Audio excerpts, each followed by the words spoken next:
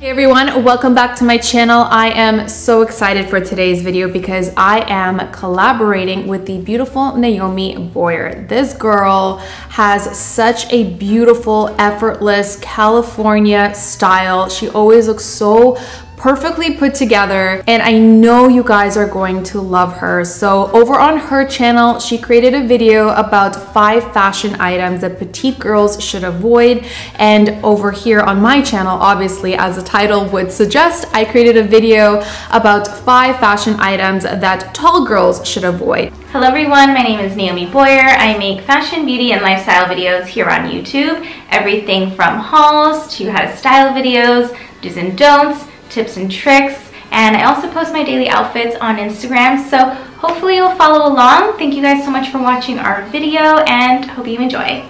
For those of you who don't know, I'm almost 5 foot 10, so I would consider myself to be on the taller side of the spectrum. And over the years, I have discovered certain things that are not so flattering for my height. So if you're like me and you are a tall girl like me and you want to know what kind of fashion items that you should avoid, then you'll want to watch this video. But before I hop into the video, I also wanted to let you guys know that Naomi and I have put together a super exciting giveaway for you guys. So considering the crazy climate the world is in right now, we wanted to help two of you guys out and just make you feel a little bit, not only better, but a little bit more secure. So we are doing a giveaway and instead of giving away product, we decided to give away away cash. So I'm gonna choose one winner and Naomi's gonna choose one winner and we're each going to give one person some cash to put towards whatever you need, whether it's food, whether it's your bills,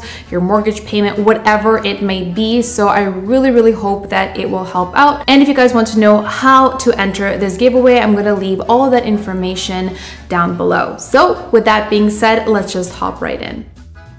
So the first fashion item that I think every tall girl should avoid are those really short Daisy Duke cutoffs. There is absolutely nothing flattering about your butt crack hanging out from the top of your shorts or the bottom of your buttocks hanging out from the bottom of the shorts. Now, I love a good denim short or a short in general, especially in the warmer months, but I learned from past experiences that you want to be able to sit comfortably in your shorts without having anything spill out. So the fix for this is to look for shorts that have about an inch or two of extra fabric above your butt crack and another inch or two of extra fabric below the bottom of your buttocks. That way, when you sit down or you bend over, you're not gonna be getting into wardrobe malfunction territory. The next fashion item that every tall girl should avoid, and I have to be honest,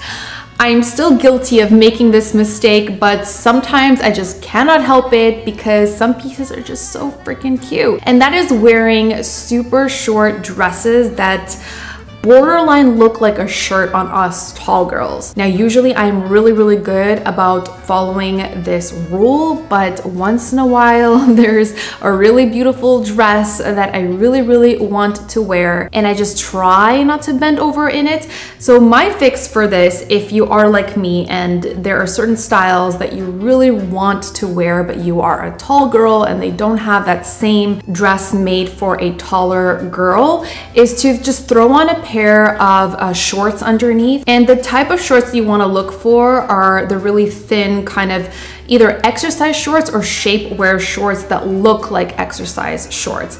I have a pair of these kinds of shorts in all kinds of different colors. I have them in white, I have them in beige and I have them in black to make sure that I have all of my options covered because I love to wear short dresses, but I don't love to have a wardrobe malfunction. Another thing we tall girls should probably avoid is rocking a really tiny, small handbag unless it is a clutch that you are taking out for an evening event. Now, I also think that mini bags like the Jacquemus bags or the super tiny little Lady Dior bags bags are super, super cute, but if I were to rock a super tiny bag like that on my tall frame, it would just look comical. Now, I'm always about preaching, you do you, you wear whatever makes you feel good. But in my personal opinion, I just think that when a tall girl wears a super, super tiny bag, it just puts your proportions out of balance. So try to look for a more medium sized bag. You can even pull off a larger size bag if you have a lot of height. It's all about knowing what works for you and your body type. The next thing I think all tall girls should try to avoid are cropped pants. And the crop pants that I'm specifically talking about are the ones that cut you off at a very awkward place on your leg that makes it look like your pants have been shrunk in the wash. And for a tall girl, that usually includes pants that kind of hit you a couple inches above the ankle or a couple inches below the knee. Anything around the mid calf area, I would say, is leaning towards dangerous territory in my opinion. So when it comes to pants, I try to find pants that hit me no more than an inch above the ankle, especially if the pants are more fitted around the uh, calf area. Otherwise, they look like they are way too short for me, but of course, there are always exceptions. You just want to make sure that your pants are elevating your legs rather than making them look shorter and stompier. Another cropped style that I would avoid are cropped sleeves. And more specifically, the type of cropped sleeves that I'm talking about are the ones that usually end about here, like mid arm and also mid bicep because that also tends to cut off your arm and make your arm look shorter.